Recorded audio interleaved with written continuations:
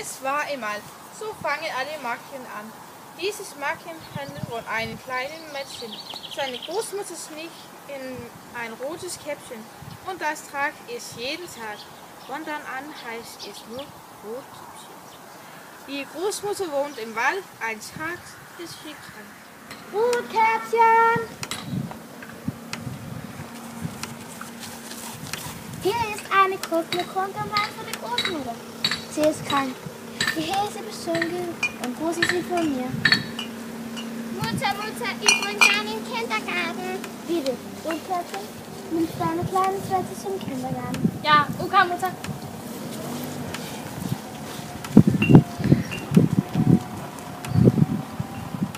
Blumenkäppchen und Rotkäppchen laufen schnell in den Wald. Guten Tag, Rotkäppchen und Blumenkäppchen. Was macht denn hier etwas Wald und was hat denn deine Kuh? Ähm, ich will meine Großmutter besuchen. Sie ist krank und renne an Kuchen und Wein. Das ist eine liebe Machen.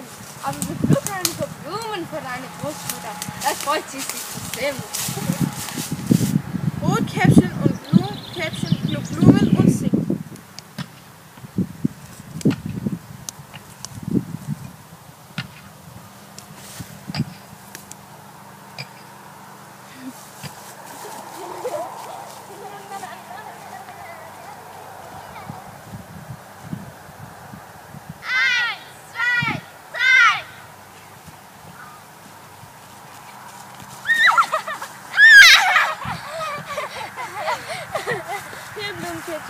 Kindergarten. Okay, bis bald. Bis bald.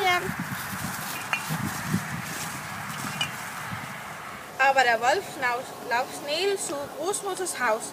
Er geht hin und verschlägt die Großmutter. Dann sieht er ihre Kleider an und legt sie in, in Bett. Bald kommt Rotkäppchen, erst schmuddelt sich.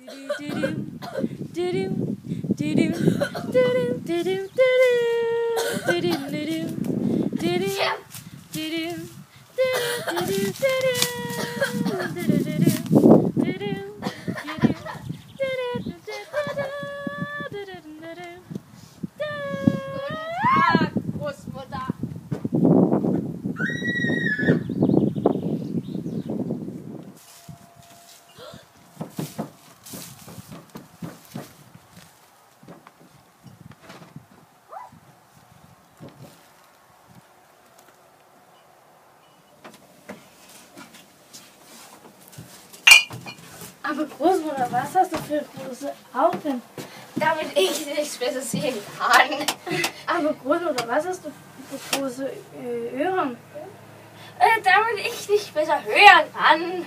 Aber Großmutter, was hast du für große Hände? Damit ich nicht besser packen kann. Aber Großmutter, was hast du für große Maul? Damit ich mich besser fressen kann. Das war's gut. Dann wär's Licht, er hat das Rotkäppchen äh, jetzt ist er satt, äh, er legt sie leider ins Bett und schlaft ein. Er nach laut ein Jäger kommt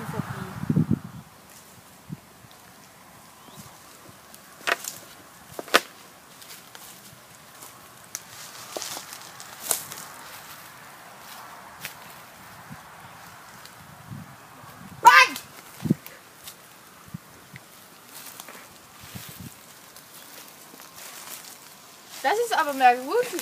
Die Großmutter. Äh, äh, na, das nicht so, laut. Das muss ich umstellen.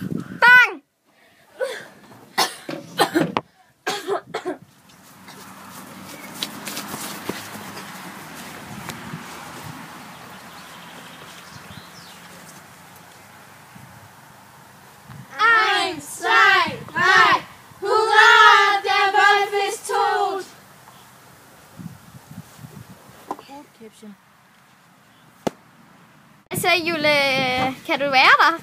Nej, det er... Se, jeg kan ikke kan lige stå. Nå, øh, hvad er du ved at klæde om til? Bedstemor. Jeg, skal, jeg har lige et. Nå, no, hvordan gik det? Det tror jeg gik meget godt. Hun ja. i hvert fald fantastisk. Super. Hey, det er mig, vi taler om her. Hvem? Mig. Frix. Dig? jeg står i Hvad så, Sofia? Er du klar? Sådan, mand! Vi klæder lige lidt om, vi klæder lige lidt om her. Vi skal lige øh, være klar. og ja, så har og, vi en film. nu skal vi så til at tage øh, den scene, hvor jægeren kommer. Det er derfor, Sofie har sit jægertøj på. Ja, og Lasse kunne ikke være her i dag, men han er altså rigtig jæger. Og øh, han kunne ikke være her, fordi at hans far har fødselsdag, så vi siger lige stort tillykke til hans far. Tillykke, Lasse, med din far!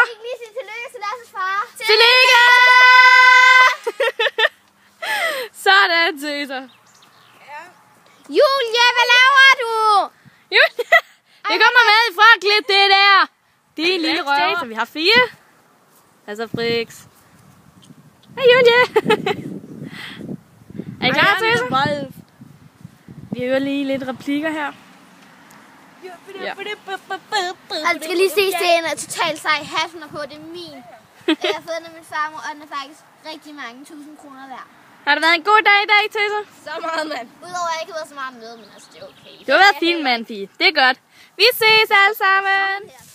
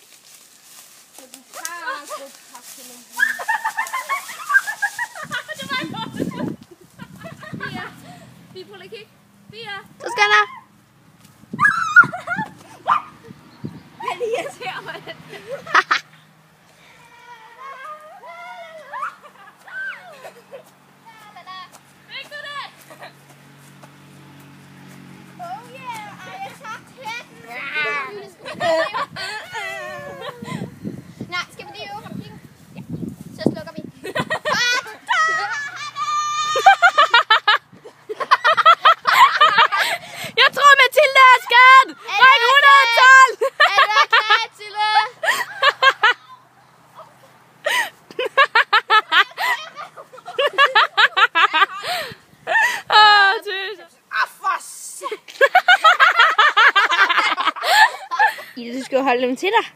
Jeg der bare på den nu. Kast flere æbler ud.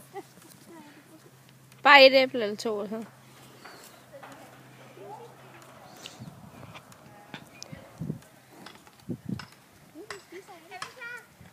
I er meget... Hej, Fie. Hej. Mathilde. Mathilde, jeg har en gave til dig.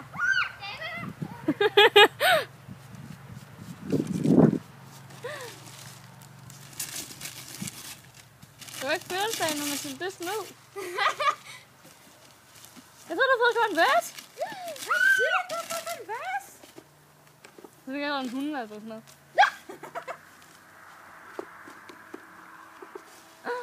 har